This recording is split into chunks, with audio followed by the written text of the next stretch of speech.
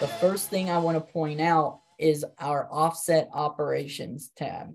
If you're in an area and you have somebody bringing their frac crew in right next to you, um, yeah, we're all in these consortiums that trade data, but we always got bad players out there, and sometimes they forget. So it's always good to double check this stuff. And if you have mineral interests, it's always good to know when operations are actually on your interest and when those revenues might come in.